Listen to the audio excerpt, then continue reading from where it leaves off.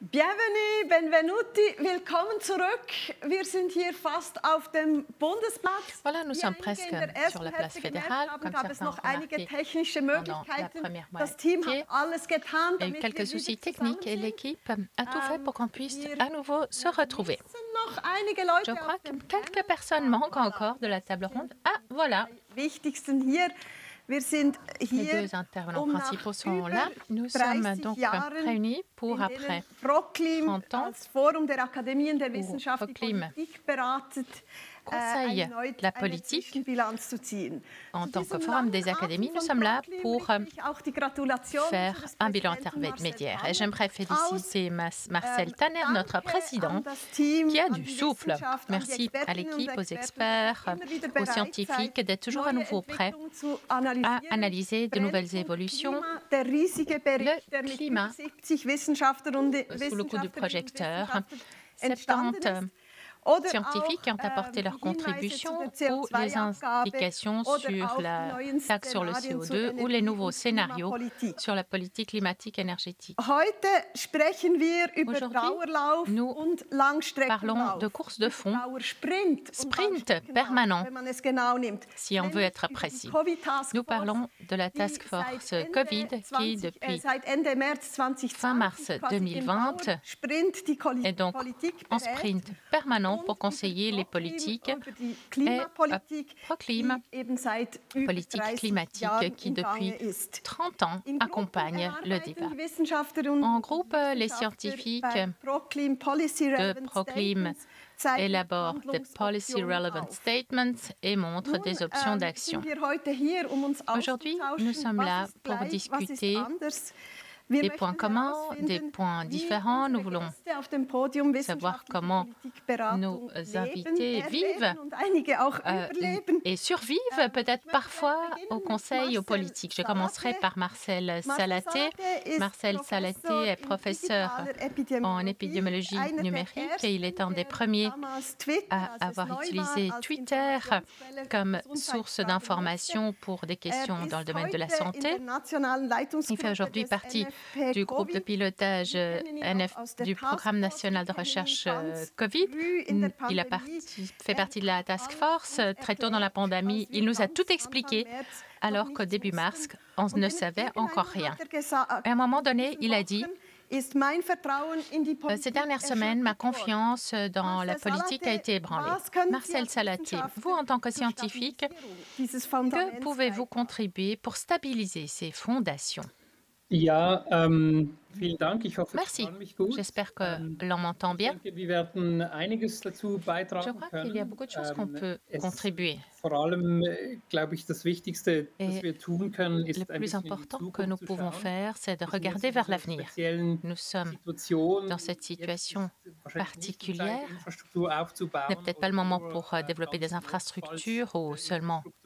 Euh, Aber dans wenn l'urgence, mais une fois que la crise sera passée, commencera Neuaufstellung travail äh, d'en tirer les conclusions, de se mettre dass en place. Notre système euh, a été ébranlé. Je l'ai dit à un moment donné, euh, aucune pierre ne sera plus à sa place à, à la fin. Mais donc, chaque pierre qui sera tombée de l'édifice, il faudra se demander si sa place est encore bien là. Et dans la collaboration entre politique, administration et science, je crois qu'il y a beaucoup de choses à reconstruire. Merci, nous nous réjouissons d'entendre cette vision. Vous, euh, vous avez prévu une présentation. Je propose que euh, vous la partagiez avec nous maintenant. Screen. Voilà, je vais partager mon écran. J'espère que vous m'entendez. Et vous le voyez. Si ce n'est pas le cas, euh, faites-moi signe. Ähm, Je m'adresse à la régie. Est-ce que ça-. C'est bon? Oui, on me fait signe que tout va bien. Bien, alors vous pouvez y aller. Dank. Magnifique, Ähm, merci. On m'a demandé de faire une petite présentation que je vous fais volontiers et j'ai décidé de vous parler euh, de eben conseiller et communiquer, que ce n'est pas l'un ou l'autre. Et j'y tiens aussi pour la génération future de scientifiques à le äh, souligner. J'ai cherché une image et je ne voulais pas prendre une image de jemandem, Suisse pour ne euh, froisser euh, personne. Bon, j'ai encore un son dans mon oreille. J'entends quelqu'un qui parle. Je crois qu'il y a un micro à, éteindre. Je crois que c'est vous-même. Non, non, non, c'est pas moi. Donc, nous dirons à la régie, il faut éteindre un micro. Malheureusement, c'est comme si quelqu'un me criait dans l'oreille. Si on peut peut-être éteindre cela faire quelque chose. Ähm, voilà. Conseiller et communiquer, ce n'est pas l'un ou l'autre.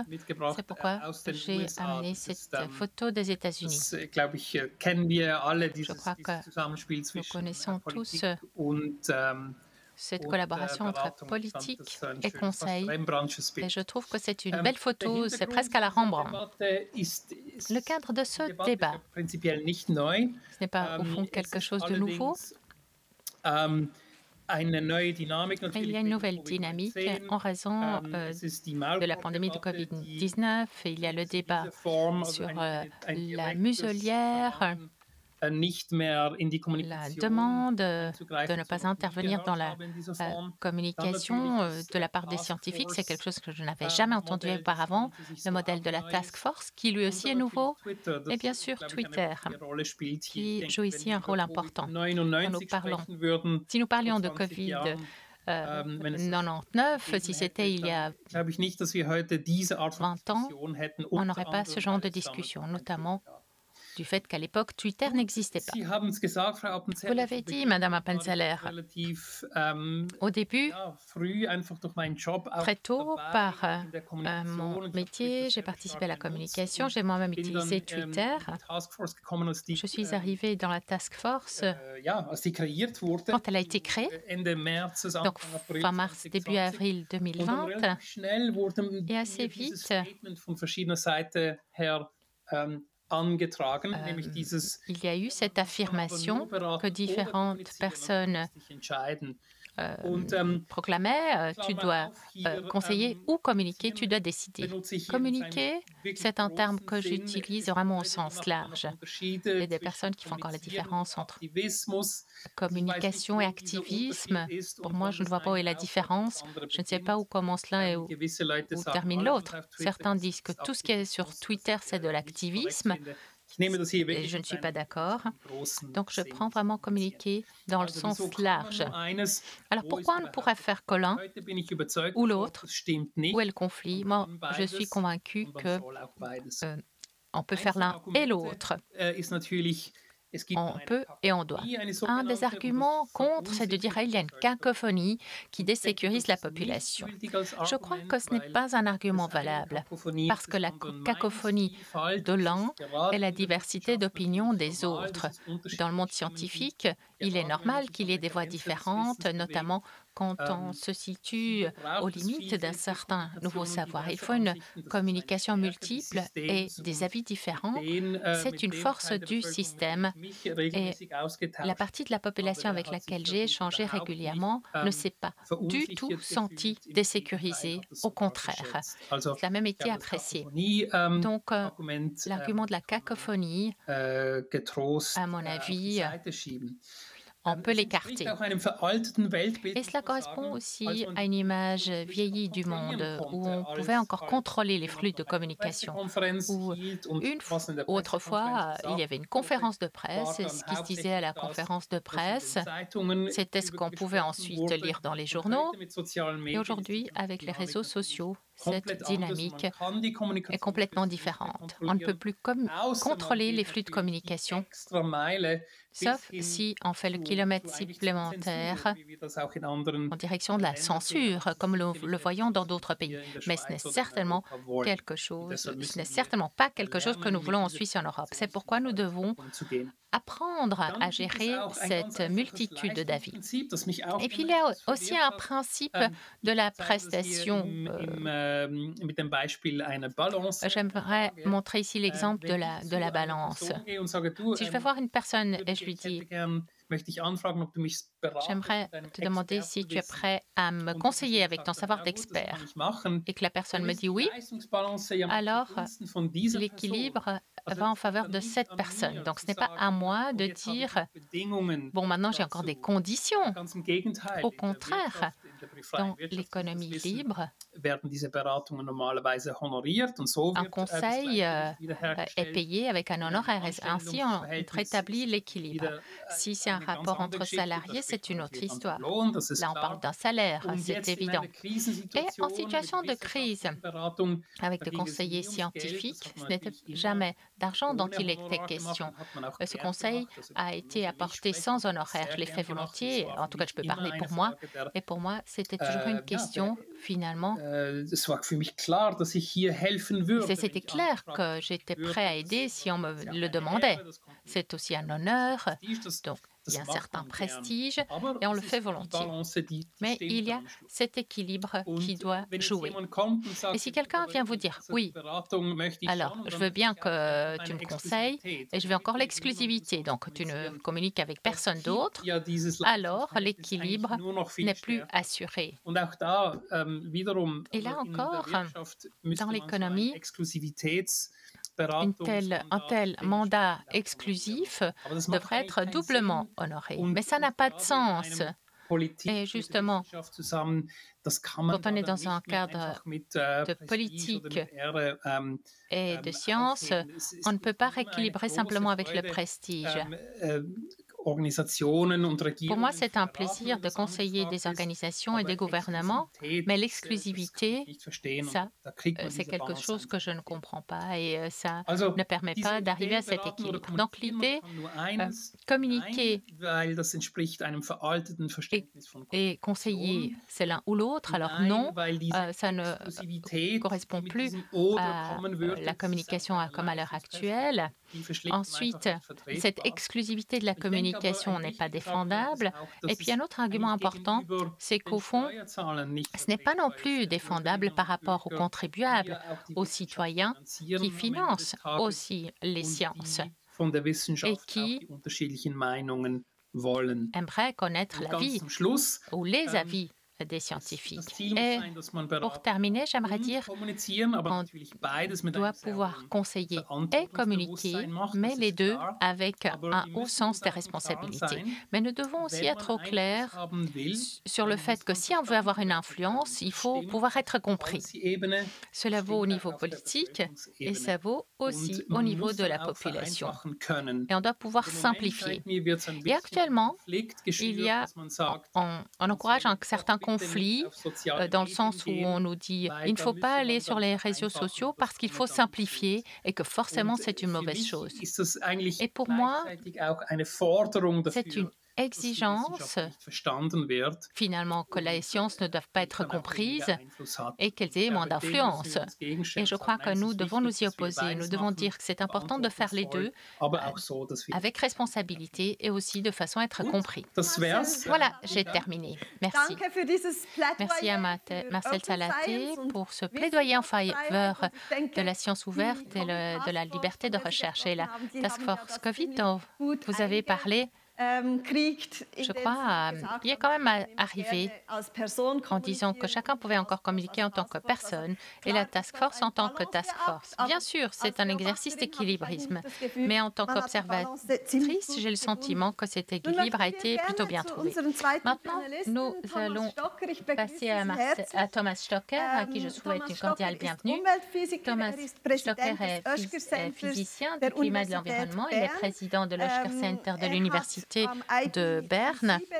Il, a contribué au, rapport, euh, au cinquième rapport du GIEC. Il a été coprésident. Et avec ce euh, rapport et une carotte glaciaire de l'Antarctique, il est parti convaincre le monde euh, de s'engager contre le changement climatique. Il, est aussi, euh, il a aussi reçu le prix Benoît. Alors, qu'avez-vous montré avec la carotte glaciaire, Thomas Stocker? Bonjour à tous. Merci beaucoup de m'avoir invité à m'exprimer euh, avec vous. Ces carottes glaciaires ne sont qu'une petite pièce du puzzle qui nous permet de comprendre ce qui nous attend dans cette crise climatique. Nous avons pu montrer, grâce à cette carotte, que la concentration en CO2 qui est l'un des gaz les plus importants à effet de serre, montre que 35 de concentration en plus a été mesurée par rapport aux dernières 100 000 dernières années.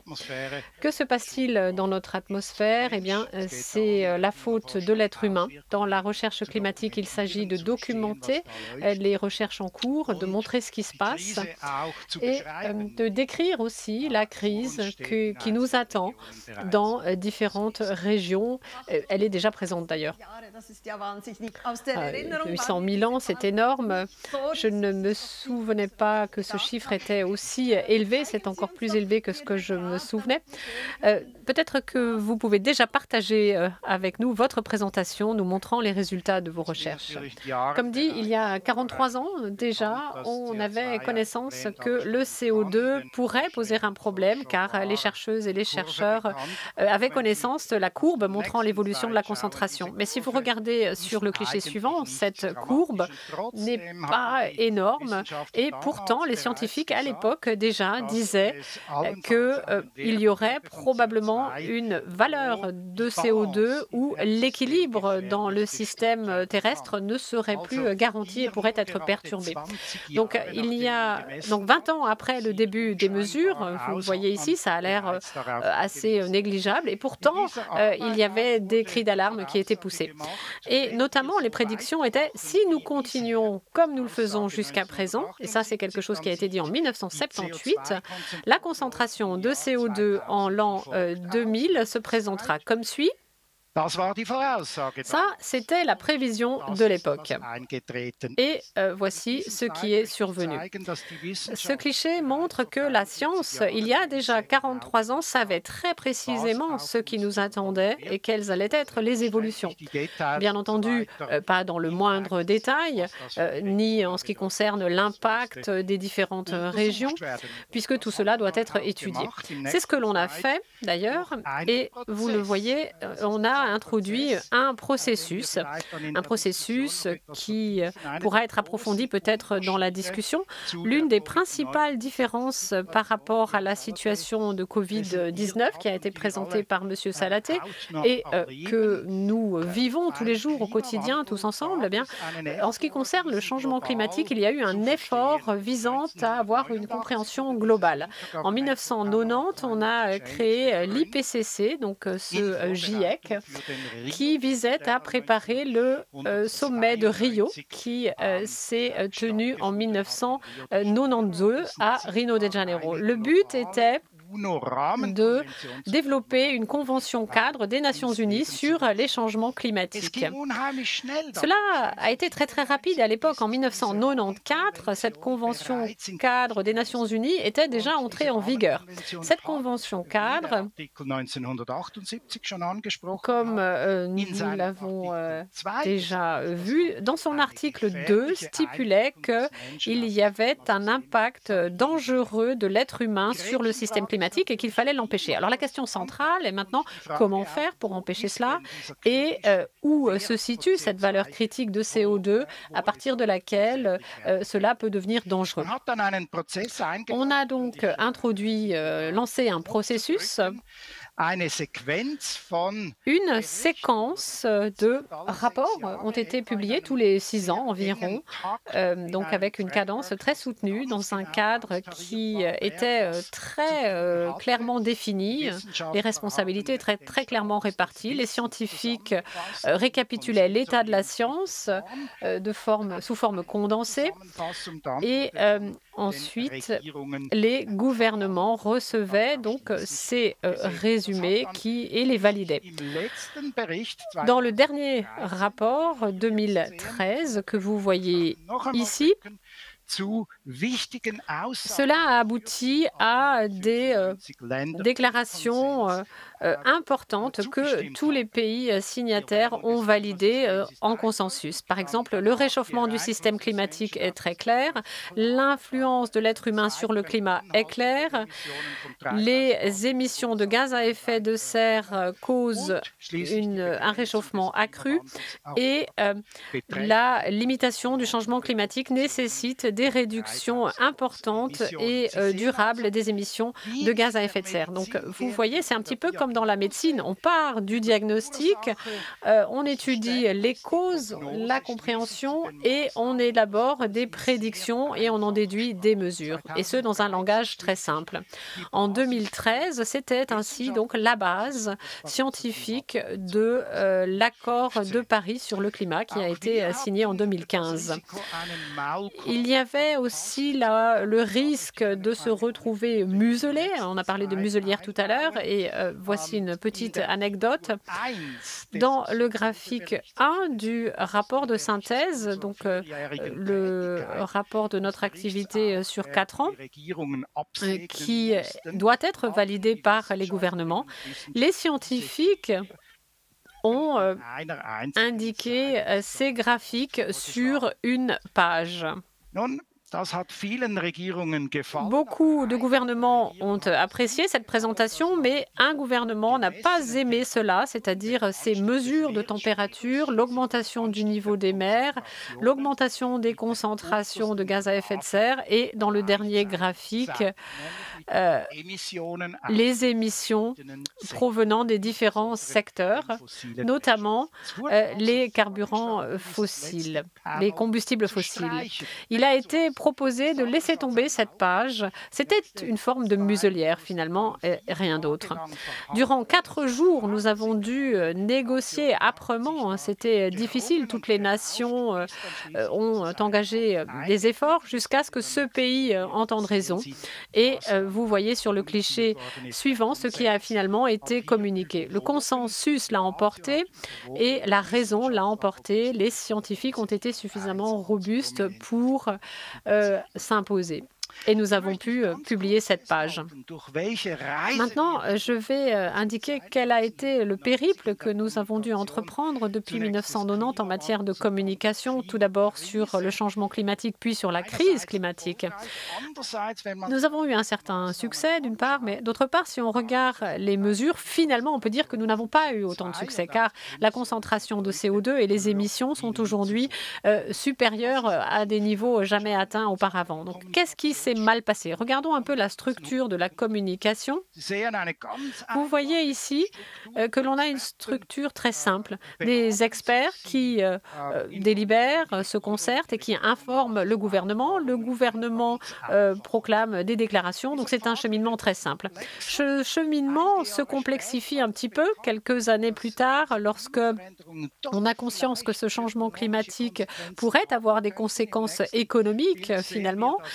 Voyez comment euh, cela se complexifie. On a un acteur euh, qui vient s'ajouter à ce graphique, les lobbies, qui conseillent, informent, parfois désinforment euh, l'opinion publique et le gouvernement. Dans une étape suivante, Hmm, je l'ai déjà évoqué, nous avons le GIEC euh, qui a été créé, ce groupe international d'experts sur le climat, donc qui euh, vise à récapituler toutes les opinions des experts et les communiquer au gouvernement. Donc on a euh, ainsi un processus de co-design. On a dans une crise rapide comme celle du Covid, pas suffisamment de temps pour le faire, mais dans la crise climatique, il y a un organisme qui a ainsi permis euh, de euh, présenter de façon consolidée les opinions et informations disponibles. Sur le cliché suivant, on voit comment tout cela se poursuit. L'opinion publique est informée et si l'on regarde encore un cliché plus loin, vous voyez que ce n'est pas seulement les lobbies qui se sont renforcés, mais euh, il y a eu également euh, une organisation créée en Amérique pour désinformer différents instituts euh, qui ont diffusé des informations douteuses dans le but de désinformer les gouvernements et l'opinion publique. En même temps, il y a eu une prise de conscience que le GIEC doit améliorer sa communication et que les experts doivent communiquer de façon plus simple. Et bien entendu que les médias, eux aussi, ont eu un rôle important à jouer. C'est un canal de communication qui a gagné en importance en matière de changement climatique. Ici, j'ai choisi l'année 2007 qui a été celle où le prix Nobel a été décerné à IPCC et Al Gore avec son film car il a pu euh, ainsi s'adresser euh, à euh, beaucoup de personnes et a pu susciter une attention médiale pour la crise qui se dessinait. Et cela a accru la prise de conscience de cette crise. Sur ce cliché, vous voyez ce qui s'est passé, quelque chose que personne n'avait prévu, c'est ce que l'on voit ici en bas, l'apparition des jeunes pour le climat, des Fridays for Future. Donc, un canal entièrement nouveau d'information qui a été extrêmement efficace et extrêmement diversifié. Il était présent dans tous les pays et euh, il a une spécificité, ce mouvement euh, des jeunes pour le climat. Cela a déjà été évoqué durant la première session de notre événement. Les jeunes pour le climat ont euh, pris note directement des résultats des recherches scientifiques. C'est ainsi que l'on a des flèches directes euh, entre les experts et les jeunes pour le climat qui ont transcrit, traduit tout cela dans leur langage et qui ont communiqué euh, également euh, leurs préoccupations. J'en arrive à la fin de ce bref descriptif du périple qui a été entrepris en matière de communication. Vous voyez ici les deux rapports qui euh, ont été publiés, euh, d'une part au niveau global, d'autre part au niveau euh, suisse. On a beaucoup discuté de des résultats de ces rapports. La science n'est pas nécessaire, ou plutôt elle est nécessaire, mais elle n'est pas suffisante. La science peut être mise à l'écart par les lobbies. Nous en, nous en avons fait la dure expérience. Et enfin, la science reste complexe il y a toujours des incertitudes qui perdurent. C'est un peu le cas également dans la situation Covid. En matière de crise climatique, nous luttons en permanence avec le fait qu'il reste des incertitudes, qu'elles perdurent et qu'il faut communiquer sur ces incertitudes. En conclusion, je vois trois points qui sont importants pour nous. Nous devons communiquer de façon simple. Nous devons euh, disposer d'ambassadrices et d'ambassadeurs authentiques pour assurer cette communication. Et il faut utiliser tous les canaux d'information et notamment les plus récents de ces canaux qui sont à notre disposition. J'en arrive au dernier cliché. Je vais en changer l'intitulé. À partir de euh, ce que je viens de dire, je crois que le savoir peut nous permettre de sortir de la crise si la science continue à travailler durement et euh, se focalise sur les trois points suivants. Quels sont les enjeux si euh, nous n'atteignons pas nos objectifs climatiques, si euh, nous ne faisons pas ce que nous devons faire au niveau global et au niveau local. Deuxièmement, quelles sont les options qu'il reste Et troisièmement, une question qui intéresse tout le monde, quel est le coût de tout cela? Que coûtent les actions nécessaires et qu'est-ce que cela coûte de ne rien faire? Donc, que coûte l'inaction? Et j'en arrive ainsi à la fin de ma brève présentation. J'espère avoir pu euh, donner quelques impulsions euh, pour la table ronde qui va suivre. Je vous remercie chaleureusement. Merci à Thomas Stocker. Vous nous avez montré. David Brech, est-ce que vous euh, nous faites un petit signe pour que tout le monde vous reconnaisse Voilà, c'est David Brech qui est euh, physicien et qui euh, a une chaire à l'EPFZ et qui travaille également pour Météo Suisse pour étudier les impacts du climat. Et il développe des modèles. Pendant 16 ans, il était chez Swiss Re, notamment à la tête du département Sustainability, la durabilité, et il est membre de Proclim. En une phrase, que montrent vos études David Bresch. Est-ce que vous m'entendez? Oui, nous vous entendons. Ça ne pourrait être mieux. Alors, euh, mieux vaut euh, attaquer à la racine les problèmes climatiques, c'est-à-dire réduire de façon énorme les émissions d'ici 2050. Euh, Cela vaut également pour les risques climatiques. Mieux vaut se préparer en temps voulu et se préparer à ce que les systèmes mondiaux évoluent pendant assez longtemps, même si nous réduisons de façon importante les émissions. Donc, mieux vaut passer à l'action et même si euh, nous n'avons pas encore un savoir absolument exhaustif, mieux vaut expérimenter un peu pour agir plus rapidement. Merci beaucoup. Passer à l'action, c'est important. Nous avons également Renate Schubert avec nous euh, à la table ronde. Elle est euh, professeure d'économie à l'EPFZ et fondatrice de l'Institut interdisciplinaire pour les décisions environnementales. Elle euh, étudie l'économie comportementale dans le domaine de l'environnement et de l'énergie. Elle travaille à l'école euh, polytechnique et elle conseille également les responsables politiques en Allemagne et en Suisse, notamment avec le comité consultatif scientifique pour les changements climatiques mondiaux, un organe qui réunit neuf euh, membres de direction.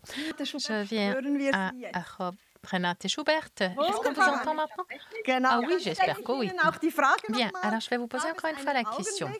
Est-ce qu'il y a eu un moment où vous êtes dit, bon voilà, j'ai pu, nous avons pu apporter une contribution scientifique à, au débat politique Merci pour la question. Alors en effet, il y a eu un tel moment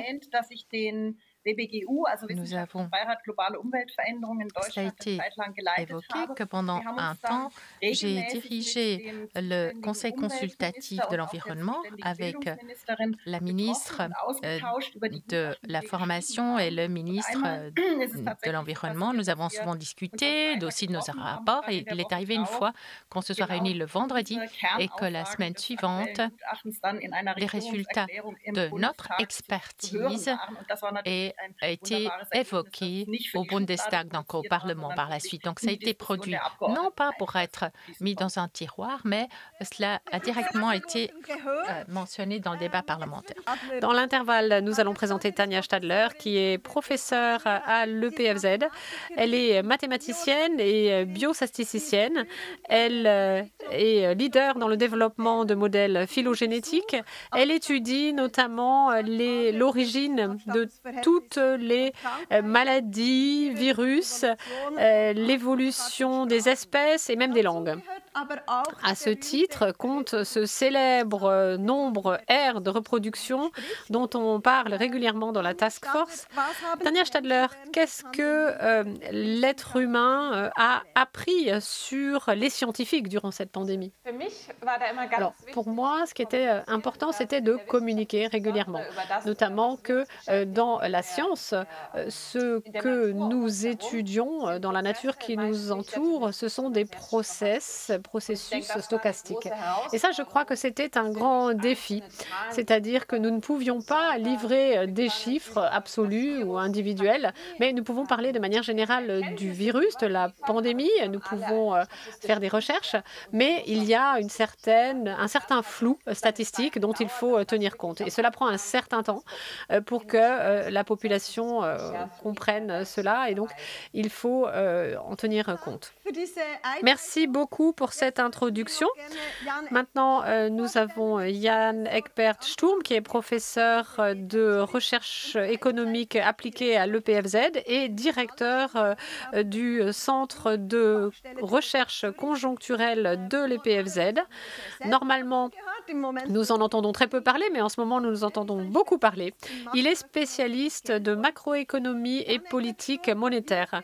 Yannick Bertsturm, euh, comment euh, la crise du corona euh, impacte l'économie suisse par rapport à l'étranger?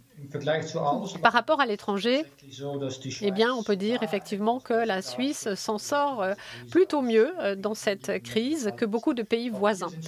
Nous sommes également fortement impactés dans certains domaines, bien entendu, dans certains domaines en particulier, l'hôtellerie, mais si l'on compare avec les pays voisins qui nous entourent, eh bien, nous pouvons nous estimer heureux, en tous les cas, comparativement. Merci beaucoup pour ce bref résumé. Maintenant, j'aimerais demander à Jan Eckbert-Sturm si vous aussi avez été entendu par la politique ou par les politiques. En effet, nous sommes en contact permanent avec les autorités, l'Office fédéral de la santé publique, le Conseil fédéral. Alors oui, on nous entend, mais nous ne sommes pas la seule voix, c'est clair. Euh, d'autres l'ont évoqué. Nous sommes un acteur euh, dans ce jeu, un acteur important, je l'espère, mais nous ne sommes pas les seuls. Et en effet, nous avons notre voix. et nous pouvons euh, être entendus. Marcel Salati, le public, en tout cas, vous a entendu. Quelle était votre impression? Est-ce que les politiques vous ont entendu? Oui, je crois que oui. La question, comme c'est bien montré sur le slide de M. Stocker, c'est que ähm, euh, je ne suis pas sûre si on a été entendu directement. Bien sûr, avec le temps, on a eu de plus en plus d'influence. Aujourd'hui, ces systèmes sont établis. Au début, c'était clairement de façon indirecte par le grand public et par les médias. Et c'est ensuite seulement directement que c'est arrivé chez les décideurs. Et je pense que dans des situations qui évoluent rapidement, à l'avenir, ce sera aussi le cas. Mais peut-être qu'on peut mettre en place des infrastructures pour que ça ne se passe pas de cette façon indirecte. David Bresch, et pour vous, est-ce que les politiques vous appellent dans votre institut? dass ça peut arriver. Souvent, ça se fait en bilatéral. Et ce n'est pas quelque chose qu'on communique euh, très largement. C'est une question centrale. Il y a toujours plusieurs canaux, plusieurs voix. C'est un concert. La cacophonie des uns, c'est la mélodie des autres. Cela a été dit. Je crois qu'il faut utiliser les différents canaux. Et un point évoqué par Thomas Stocker m'a beaucoup plu. Il évoquait l'authenticité.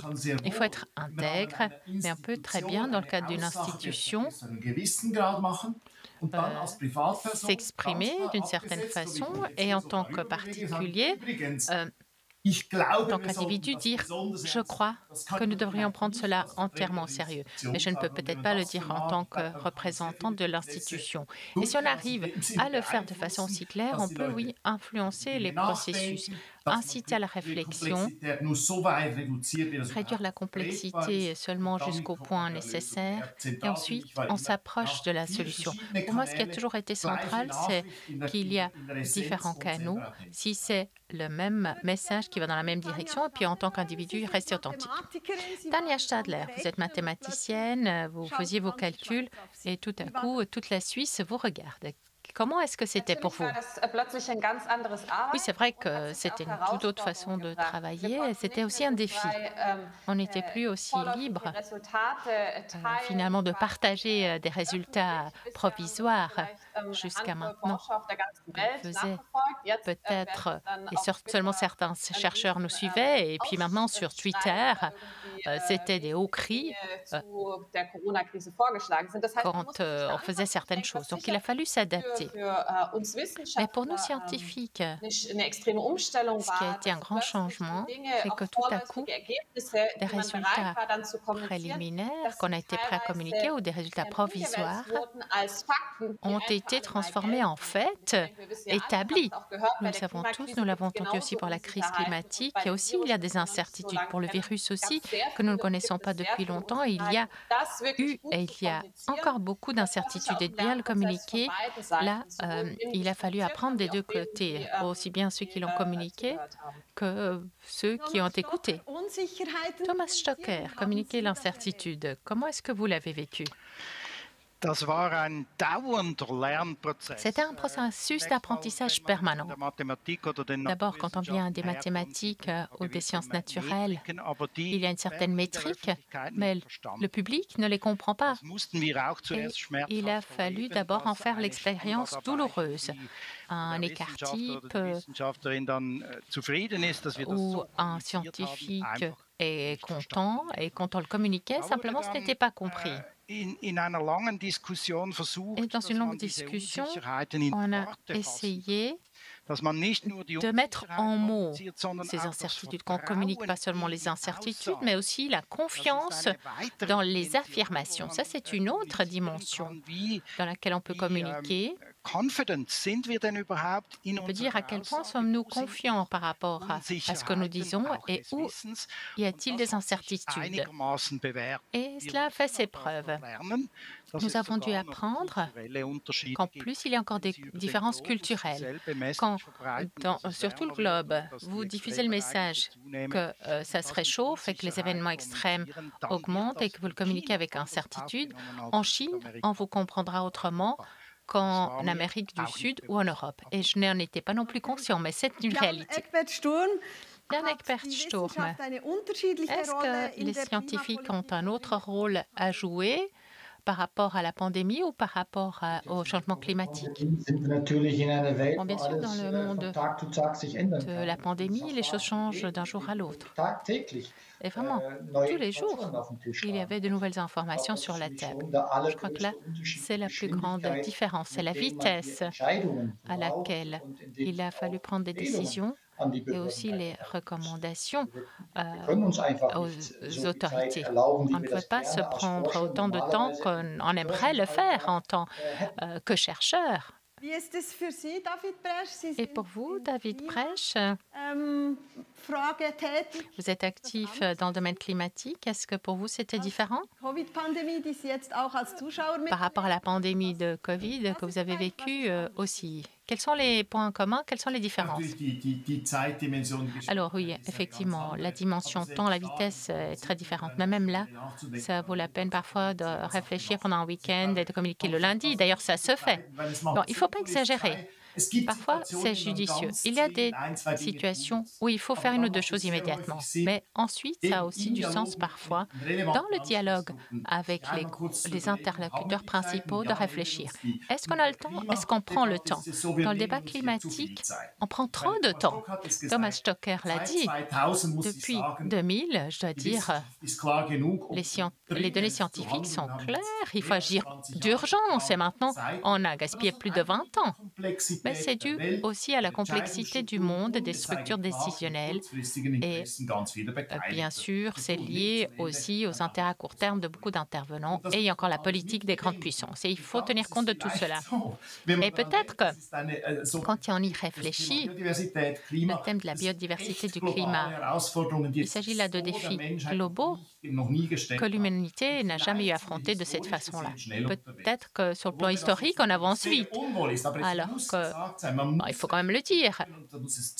il faut aussi permettre de comprendre et prendre le temps de comprendre pourquoi ces processus n'avancent pas plus vite. Et puis peut-être que sur le plan dialectique, il faut que le être détermine la conscience. Aujourd'hui, peut-être que ça ne va pas si mal euh, sur le plan du climat pour qu'on sente le besoin d'agir immédiatement. Alors que pendant la crise de coronavirus, nous avons dû euh, faire l'expérience personnelle qu'attendre n'était pas une option, surtout pas lors d'une progression exponentielle. Nous aimerions maintenant encore entendre nos euh, auditeurs, spectateurs. Nous avons préparé quelques questions sur un mentimètre et euh, nous aimerions maintenant avoir votre avis, vous qui êtes derrière vos écrans.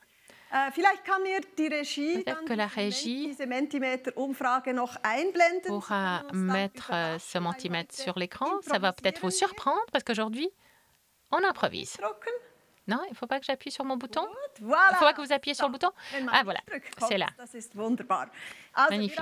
Donc, nous avons là un mentimètre avec un code QR que vous pouvez scanner donc, et vous pouvez participer au sondage. Quel est le rôle des sciences dans le changement climatique et dans le domaine de la pandémie de coronavirus? Est-ce que c'est la même chose? Est-ce que c'est très différent?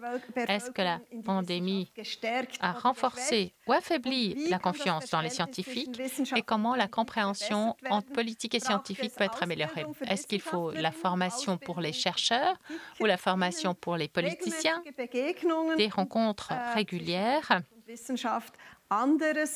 autres, là, vous avez Ähm, vraiment le champ libre. Participez, dites-nous ce que vous en pensez. et entre-temps, nous poursuivons la discussion. Les différents avis sur la pandémie se sont exprimés parfois très fort. Alors, est-ce que la population maintenant a plus ou moins de confiance? votre- Quel est votre avis à la table ronde? Les académies ont chargé l'Université de Zurich en novembre d'établir un baromètre scientifique pour cette période. Le baromètre scientifique, il existe déjà aussi pour d'autres questions. Et là, on a un passage de la confiance de 57 à 67 à votre, Quel est votre avis à la table ronde sur cette situation? Marcel Salatier, euh, comment pensez-vous de la confiance dans les scientifiques Alors, comme les chiffres le montrent, la confiance a Ähm, progressé. Je crois qu'on peut aussi à court terme ähm, s'en réjouir. Exceptionnellement, Je jouerai le pessimiste. Sinon, je Ähm, suis plutôt connu pour être optimiste. J'ai le sentiment que les turbulences sont encore à venir. Dans un objet physique qui se déplace, Les turbulences les plus fortes arrivent quand l'objet est déjà plus loin. Et Là, je crois que nous allons vers une période très turbulente dans les deux à trois prochaines années, peut-être ähm, plus, Dynamik où cette dynamique qu'on a peut-être ähm, déjà vu dans la discussion climatique, mais euh, de façon plus lente, où es ces turbulences vont s'accélérer. Et il y aura des forces massives qui der sozialen exploiter la nouvelle dynamique des réseaux das sociaux pour, Auges entraver cette confiance. Nous devons nous préparer klar les yeux grands ouverts et ne pas simplement nous réjouir. La ähm, population nous fait confiance aujourd'hui parce que demain déjà, ça peut changer. Euh, Renate Schubert, quel est votre avis? Est-ce que la pandémie a renforcé la confiance dans les scientifiques ou affaibli? Ah. Voilà. Voilà, maintenant on vous entend. Nochmal? Okay, hören Recommencez. Oui, vous m'entendez? Ja, okay, gut. Also, ähm, ich kann das jetzt nicht aus dem Kaffeesatz lesen. Bon, je ne fais pas de la lecture euh, dans le mar de café. L'Université de Zurich a publié certains chiffres, je veux les croire. Le problème est dû au fait que nous avons constaté pendant cette pandémie de Covid qu'il y a des opinions différentes, différents modèles avec lesquels on peut expliquer les choses et qu'on n'arrive pas toujours au même résultat. C'est de nouveau le problème de l'incertitude et certains en ont parlé. Tant que la population ne sera pas en mesure de gérer les incertitudes et d'accepter que les sciences sont toujours, le monde scientifique euh, a toujours à faire face à certaines incertitudes, il n'y aura pas plus de confiance. Parce que sinon, c'est facile de dire, mais les scientifiques ne sont même pas d'accord, alors pourquoi est-ce qu'il faudrait faire ceci ou cela? Je crois que là, il y a une tâche vraiment de formation du public. Il faut accepter que dans les sciences ne permettent pas de dire que c'est noir ou c'est blanc. Tania Schadler, quelle est votre expérience? La population suisse a appris beaucoup avec vous par rapport à la valeur R. Oui, je crois que nous tous, nous avons beaucoup appris cette année écoulée. Beaucoup de choses qu'on n'avait même pas imaginées. Ce que je pense, et pour dire aussi quelque chose de positif, c'est qu'aussi bien la population a eu des contacts avec le monde scientifique, a dû s'y confronter davantage euh, aux dernières conclusions scientifiques. Les personnes voulaient savoir comment ça allait continuer avec cette pandémie. Et à l'inverse, beaucoup d'entre nous ont été euh, jetés dans l'eau froide, entre guillemets, et ont dû communiquer. Et pour l'avenir, Maintenant, la population ne voit peut-être plus les, les mondes scientifiques comme une tour d'ivoire. Nous avons eu beaucoup plus de contacts qu'à une autre période. Et d'un autre côté, il y a beaucoup d'intérêt aussi parmi les scientifiques, et aussi dans mon groupe, de personnes qui s'intéressent davantage à la communication. Et je crois que cet élan, il faut le suivre et euh, essayer aussi à l'avenir. d'aller dans cette direction et d'apporter ce soutien à ceux qui veulent communiquer. Merci. David Bresch, j'aimerais reprendre cette idée. Est-ce que les scientifiques devraient mieux comprendre la politique? Ou que devraient faire les scientifiques pour que la politique les comprenne mieux? Alors oui, je crois que parfois c'est deux mondes différents, deux images du monde, et la conseillère fédérale l'a dit, c'est des rôles différents. Nous avons pour tâche de euh, pas créer de, des vérités, mais des conclusions. Il s'agit d'un système complexe qu'il s'agit de mieux comprendre. On peut poser des limites. On peut dire ah, je ne regarde que ce côté, ce, domaine-là, je le comprendrai mieux. Les politiques ne peuvent pas le faire et doivent vraiment tenir compte de beaucoup d'aspects différents. Le comportement du système, le bénéfice du système pour chacun. et chaque fois, il y a un équilibre à trouver. Oui, c'est extrêmement important et selon mon expérience, c'est aussi extrêmement enrichissant en tant que scientifique de s'intégrer dans cette discussion. On apprend beaucoup. On en tire des conclusions, pas dans notre propre domaine parfois, mais parfois bien au-delà euh, ou en dehors de notre tour d'ivoire.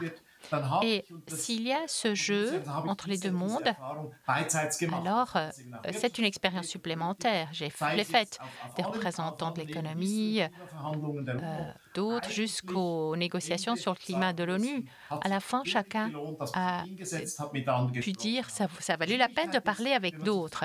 La difficulté, c'est quand la première fois on se rencontre dans l'arène, alors c'est trop tard parce que là, ces systèmes de valeurs euh, s'opposent et on ne peut arriver à une compréhension que si un animateur extrêmement doué. Et si ce n'est pas le cas, on n'arrive pas à un consensus à ce moment-là ou à une discussion constructive. Donc je plaide pour que régulièrement, de façon institutionnalisée, on se rencontre avant la crise on le sait, il faut exercer euh, avant euh, des instruments avant de les utiliser.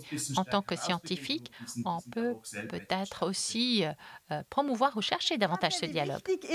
Marcel Salatier, pour vous, à quel point est-ce important que les politiques comprennent comment fonctionnent les sciences? ähm, C'est très important, bien entendu. Il faut qu'il y ait une compréhension mutuelle de part et d'autre. Mais pour revenir à cette idée je suis d'accord avec euh, ce constat qui vient d'être fait, euh, mais je pense que la Suisse, à ce titre, a beaucoup de retard et doit se rattraper en ce qui concerne la collaboration euh, avec les offices fédéraux. Avant la crise, ça ne marchait pas bien, ce n'était pas au même niveau que la collaboration que l'on peut voir dans d'autres pays. Donc je crois qu'il faut que cela vienne des deux côtés, de part et d'autre. Les milieux politiques me semblent un peu surpris qu'il y ait un réseau social du nom de Twitter parfois et que cela vaut la peine de lire ce qui est écrit dedans et que cela peut influer sur l'opinion publique. Je suis d'accord avec le point de vue disant qu'il faut que nous nous rapprochions, que nous, échangions davantage, mais il faut demander à tous de se pencher sur la communication moderne afin que euh, ces malentendus euh, puissent être évités et que l'on puisse jeter des ponts au préalable et que les scientifiques ne soient pas obligés euh, de passer par les réseaux sociaux, par les conférences de presse comme celle qui vient d'être faite pour rectifier des éléments factuels. Merci beaucoup pour euh, ces remarques. Tania Stadler, est-ce que vous souhaitez ajouter quelque chose? Vous l'avez vu euh, comment on explique aux responsables politiques ce qu'est une valeur R et comment elle apparaît. Oui, je crois que c'est très important si nous voulons travailler de façon constructive ensemble il faut qu'il y ait un dialogue direct. Ce qui ne veut pas dire, comme l'a dit M. Salaté d'ailleurs, euh, que euh, via Twitter ou via d'autres réseaux, euh, on ne peut pas communiquer activement avec la population. Mais si je souhaite que euh, les évidences euh, soient perçues par les décideurs, eh bien, il faut que je puisse communiquer directement. Et euh, les canaux que nous avions au début de cette pandémie ne le permettaient pas. Cela ne marchait pas parce qu'on ne les avait pas. Et les médias, bon, on sait tous comment ils fonctionnent, euh, ils n'ont pas toujours reflété ce que les scientifiques avaient voulu dire, ce que j'avais voulu dire. Donc, à mon sens, euh, il euh, est important que la task force puisse avoir un dialogue direct avec les décideurs, et ce, parallèlement avec la communication qui se fait avec la population. C'est beaucoup plus efficace pour faire part de nos opinions et aussi de nos découvertes. Et cette valeur ERT en est un très très bon exemple. Elle a été souvent évoquée pour ou contre des mesures d'assouplissement. Euh, sur le plan scientifique, euh, ce n'est pas absolument euh, judicieux d'ignorer toutes les incertitudes. Et si on regarde par exemple un petit canton comme Appenzell Road intérieur, les incertitudes sont énormes et le dialogue aide à améliorer la situation et à trouver ensemble des solutions. Merci beaucoup. Maintenant, j'aimerais demander à la régie si nous avons déjà les résultats du mentimètre ou est-ce qu'il faut encore attendre un petit peu? Ah, voilà. Voici ces résultats sur le rôle de la science en matière de changement climatique et dans la pandémie Covid. La majorité disent que le rôle des scientifiques est le même, mais certains trouvent que le rôle est un peu différent dans les deux euh, crises. Donc, c'est un résultat intéressant. Nous avons, euh, pour moi, c'est euh, très différent en ce qui concerne différents aspects et pour nos panélistes également. Par contre, nos auditeurs ont une opinion différente. Est-ce qu'il y a encore d'autres résultats euh, du multimètre La pandémie euh, a renforcé la confiance de la population dans la science pour 50 des auditeurs. 25 euh, pensent on a une opinion un peu plus critique. Ensuite, comment euh, améliorer les relations entre les milieux scientifiques et les milieux politiques? Alors là, il faut que je me rapproche. C'est écrit tout petit, ou à moins que quelqu'un puisse me le lire. Je crois qu'il vaut mieux avoir ses lunettes quand on en a besoin pour lire un écran où les caractères sont aussi petits. 67% souhaitent des rencontres euh, régulières entre la politique et la science.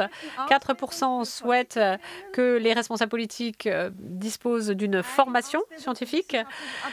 Et euh, ah, ce ne sont pas des pourcents, pardon, ce sont des chiffres absolus. Ah, l'auditoire est extraordinaire. Beaucoup ont participé. Donc, on a 67 personnes qui ont souhaité des rencontres régulières. Euh, trois ont dit autres. Bon, qu'est-ce que ça pourrait être les autres points?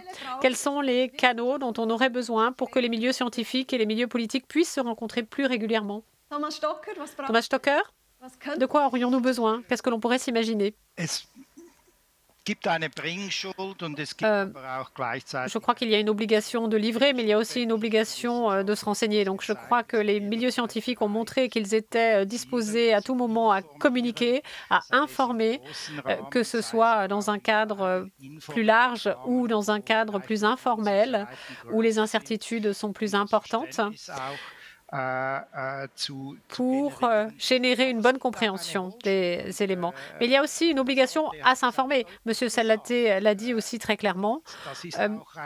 Et on a le sentiment que dans la problématique climatique, cette obligation n'a pas été entièrement satisfaite. C'est-à-dire qu'il y a des offices fédéraux qui sont spécialisés sur ces questions dont nous discutons ici aujourd'hui.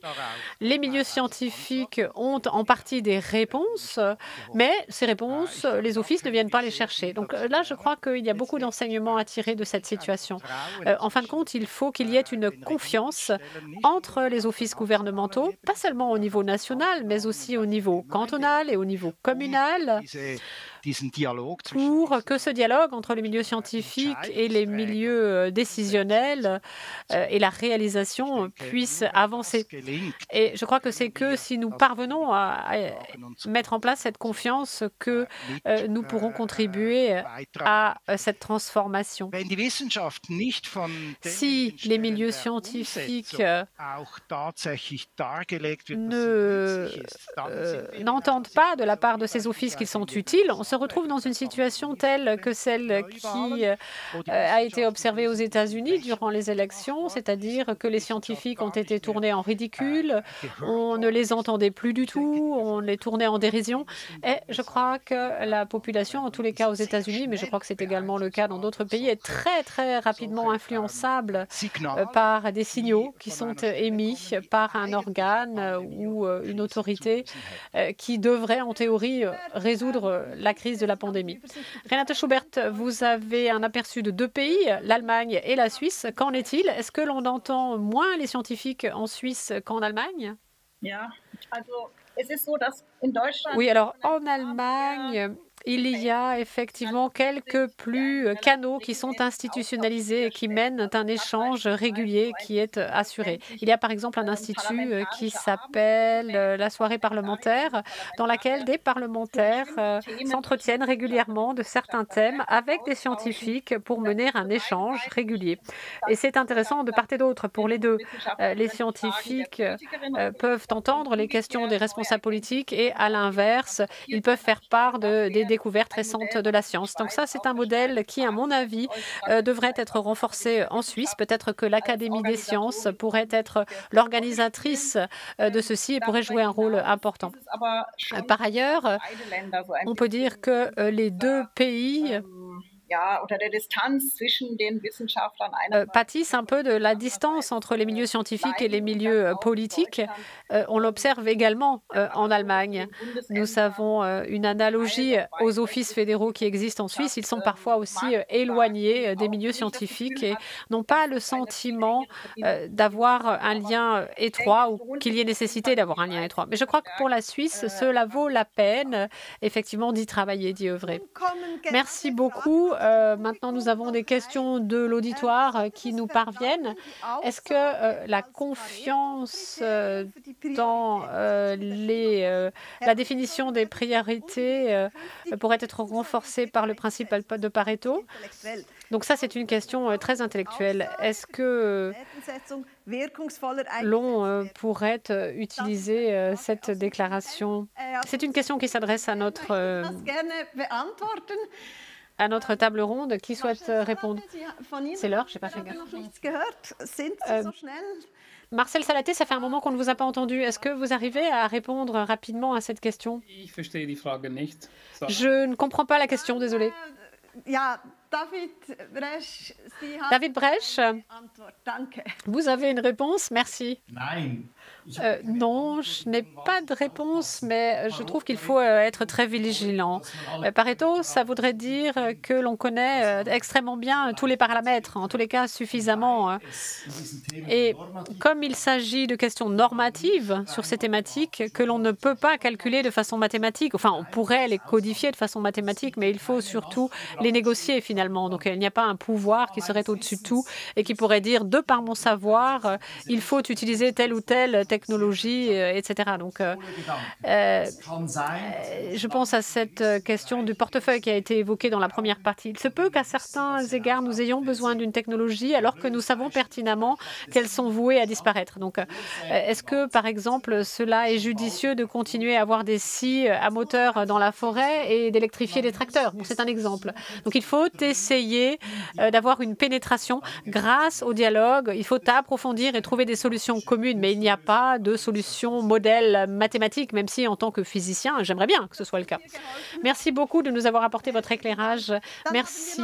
Nous avons encore une deuxième question. Est-ce que un Green Recovery euh, sera euh, relégué par la pandémie ou que, de quoi aurions-nous besoin? Yannick Persturm, est-ce que vous pouvez nous aider? Nous avons un auditoire extrêmement intellectuel. Qu'en est-il de cette Green Recovery en lien avec la pandémie? Est-ce que l'on a déjà discuté euh, de ce lien? Oui, dans différents pays euh, du monde et notamment en Europe, on essaye d'étudier cela pour que la recovery, donc la reprise pour, sortir de cette crise, soit euh, utilisée afin de mettre en œuvre des changements euh, structurels. je crois que c'est compréhensible, en effet, de choisir cette approche, cette piste, et qu'on essaye de le faire. Mais en même temps, il faut tenir compte de différents éléments. Cette fois-ci, nous avons une crise qui est euh, dans l'ensemble une crise de la consommation. Les gens ne peuvent pas consommer autant qu'ils le feraient habituellement. Et euh, il y a évidemment une euh, reprise automatique qui se fait, mais qui n'est pas forcément structurelle. Et bon, ce serait donc éluder une partie du problème. certains thèmes sont éludés pour des raisons politiques, mais pour des raisons économiques, il y aurait d'autres approches. Donc nous savons que nous pouvons euh, passer de merveilleuses vacances auprès de notre propre forêt et que nous ne sommes pas obligés de voyager dans des contrées lointaines pour profiter de la forêt euh, pluviale. C'est ce que nous avons tiré comme enseignement. Nous pouvons sinon euh, continuer à lire vos travaux pour en savoir plus. Maintenant, j'aimerais savoir comment se fait un policy brief dans la task force. Jan Eckbert-Sturm, je crois que vous êtes très proche de tout cela. Est-ce que vous pouvez nous donner quelques informations? Comment est-ce qu'on travaille dans cette task force? Alors, grosso modo, ce sont de grandes plateformes de discussion où d'abord, dans un cercle large, on exprime des idées, on en discute Ensuite, il y a, c'est délégué un groupe. Ce groupe travaille sur ce thème choisi. Ensuite, il y a un policy brief un premier projet qui est présenté, qui est ensuite discuté largement, où chacun peut donner son avis, son opinion, son input, et on arrive à un produit qui euh, représente un certain consensus et où l'ensemble de la task force peut vivre avec. En gros, c'est ainsi qu'il faut s'imaginer le processus. Pour chaque policy brief, ça se passe peut-être un peu différemment. Pour certains, c'est défini tellement clairement et on sait clairement qui en chargera et qui sera derrière. Et les autres peuvent parfois peu contribuer. Pour d'autres, policy brief, c'est beaucoup plus large et automatiquement, il y a plus euh, d'apports des autres membres de la task force. Et d'ailleurs, c'est un plus de cette task force. Tania Stadler, mercredi et vendredi vers le soir, tout le monde se réunit sur Zoom, donc on n'est pas dans une grande pièce. Comment est-ce que vous vivez cela? En effet, deux fois par semaine, nous nous réunissons ähm, au début de l'après-midi, en fait. Mais bon, peu ähm, importe.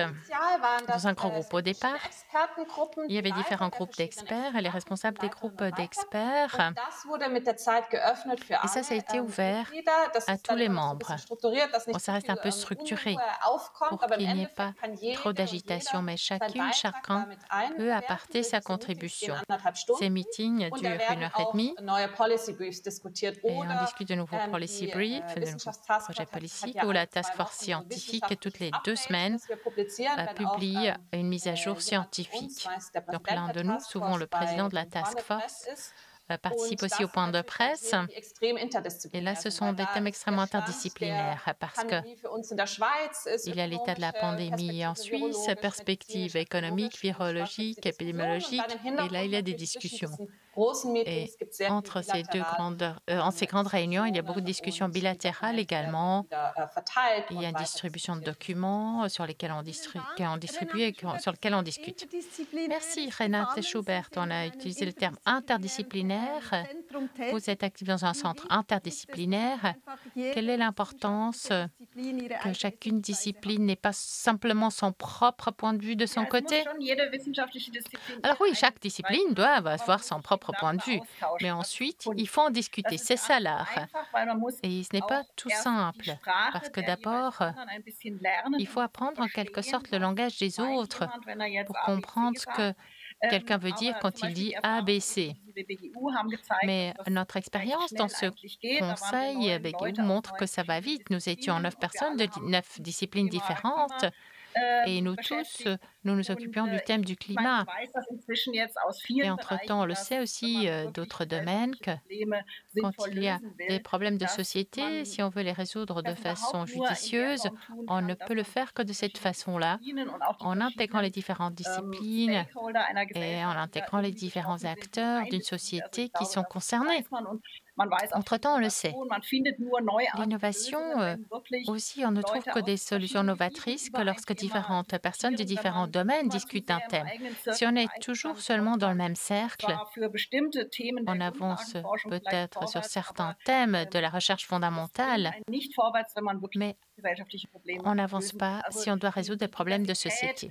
La diversité doit être là et il faut essayer de l'intégrer davantage dans notre système scientifique, dans notre système de haute école, où malheureusement, très souvent, la monodisciplinarité rapporte plus que la pluridisciplinarité. Oui, donc il y a encore un problème de, de politique de formation. Thomas Stocker, vous avez hoché de la tête. Qu'est-ce que vous avez vécu, vous, dans votre carrière, quand plusieurs disciplines collaborent? Oui, c'était difficile, mais en même temps, c'est extrêmement enrichissant. Parce que ce qu'on découvre ensemble parle à, beaucoup, à des parts beaucoup plus grandes de la société. Quand nous parlons de changement climatique, de crise climatique, s'il y a un économiste qui participe, si un éthicien y participe, alors on aborde des thèmes qui concernent l'ensemble de la population. Et c'est la force du travail interdisciplinaire, c'est qu'on réfléchit de façon beaucoup plus large. On réfléchit aussi plus loin dans la crise si d'autres disciplines participent au débat. Je crois que globalement, il faut dire que c'est difficile. Il y a une phase d'apprentissage, une courbe d'apprentissage, mais qui est absolument nécessaire. Marcel Salaté, vous êtes un des scientifiques les plus connus en Suisse, mais vous n'êtes pas encore professeur ordinaire. Est-ce que les récompenses sont mal placé dans le monde scientifique? Je ne crois pas. D'ailleurs, en allemand, je préfère le thème außerordentlicher Professor, donc euh, professeur extraordinaire plutôt qu'ordinaire. Non, dans cette crise, nous avons reçu un très bon soutien, je crois. Bon, bien sûr, il y a eu quelques tensions, notamment au printemps 2020. Mais je crois que nous tous, euh, enfin, je peux parler en mon nom, euh, je me suis senti très privilégié pendant cette période. Bien sûr, c'était 7 jours sur 7, 52 semaines par an. Mais cette crise est quelque chose d'unique. Et ça a été extrêmement intéressant d'apporter une contribution. Et nous espérons bien sûr que nous pourrons contribuer à, continuer à apporter notre contribution. Mais la prochaine crise sera peut-être différente. Et j'espère aussi Um, que cette approche interdisciplinaire, on pourra continuer à la faire vivre. C'est comme pour les ponts. Quand on doit construire un pont, quand la crise est là, c'est difficile. Et une fois que le pont est là, on peut simplement le traverser. Et dans beaucoup de domaines, ça nous a été très utile. Je l'ai constaté personnellement aussi pour le développement des applications. Cette collaboration existait déjà entre épidémiologie et technologie. Ça nous a aussi permis de poser des normes plan mondial parce que nous étions plus rapides, parce que nous n'avons pas pu dû construire les ponts, on pouvait les traverser. J'espère que ça continuera. Merci pour cette magnifique euh, image de la fin, ce pont que nous traversons, que nous devons traverser dans divers domaines et qui ont un fondement scientifique. Nous arrivons déjà au terme du temps qui nous est imparti. Euh, j'aimerais vous remercier, vous tous de, à la table ronde. Vous avez résisté aussi, malgré les difficultés techniques. Vous avez été entendus. Chacun avait une voix. Et je donne maintenant le micro à Jörg Pfister, secrétaire général de la SCNAT, donc, euh, qui est responsable aussi de la journée. Merci d'avoir participé. Et je donne la parole à Jörg Pfister. Il est là. Pour l'Académie suisse des sciences naturelles. Magnifique. Mesdames et messieurs, virtuellement présents, nous avons vécu une après-midi passionnante. Nous avions deux grands sujets. Permettez-moi brièvement de passer en revue quelques points importants. D'une part, nous avons discuté de la stratégie climatique de la Confédération. Vous le savez tous, les bases scientifiques sont évidentes.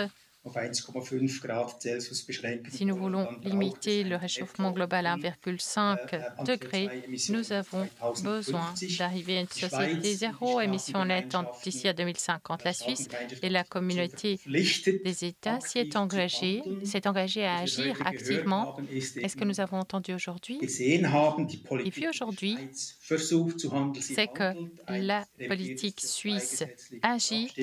Une loi révisée sur le CO2 est soumise au peuple et nous avons une stratégie climatique. Et nous avons vu aussi aujourd'hui que cela reste une tâche herculéenne Nous avons évoqué divers défis, commençons par le rôle des euh, services financiers, un point qui est peut-être un peu sous-estimé par le grand public, la caisse de pension, assurance. Nous avons parlé euh, de l'aménagement d'instruments incitatifs, aussi un point très important, les dividendes, comment euh, les gérer Est-ce que la population se rend compte?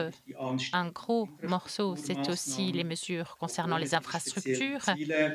Aussi, sans ces objectifs particuliers, la Confédération, dans sa stratégie, souligne qu'il y a besoin de 1400 milliards d'investissements. Il y a encore ça, 80 milliards ajoutés si on veut atteindre les objectifs. Les objectifs impliquent aussi parfois des conflits d'objectifs. Cela a aussi été évoqué. Et pour beaucoup de ces questions que nous avons évoquées, il y a toujours un élément qui est sous-jacent, la question euh, de la compatibilité pour la société et l'économie. Une question n'a été évoquée que brièvement, c'est la suivante. C'est que cette discussion est souvent assez technique, euh, pour le dire ainsi. cela a été évoqué aussi aujourd'hui? Est-ce qu'il suffit d'avoir des sondes euh, partout pour l'énergie thermique et des panneaux solaires sur les toits Non, probablement non. Ce n'est pas seulement une question de transformation des infrastructures. Il y a la question de la transformation de la société. Quelle Suisse nous voulons? Dans quelle Suisse voulons-nous vivre à l'avenir? Est-ce que ça va rester l'usage qu'on vive à Fribourg et qu'on travaille à Zurich, etc., etc. Ça, c'est une question qui est plutôt sous-estimée et trop peu discutée. Euh, Et je crois que là aussi, le monde scientifique a encore des contributions importantes à apporter. Ce qui est clairement ressorti, c'est que il faut agir, nous devons faire le premier pas, même si tout n'est pas parfait. J'ai le sentiment que c'est comme quand on est en randonnée. On fait le premier pas, on sort de la maison, après 20 minutes, on euh, renoue les lacets, on enlève un pull, on mange un sandwich à un moment donné, on ne démarre pas seulement quand tout est parfait. Donc le premier pas, il faut maintenant le faire. Je crois que nous sommes tous conscients, le monde scientifique l'a montré, euh, le temps presse. Et un autre point très important qui a été exprimé, c'est que c'est à nous.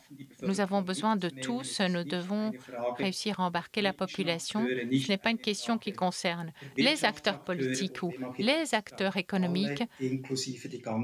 On a besoin de tous et de toute la population.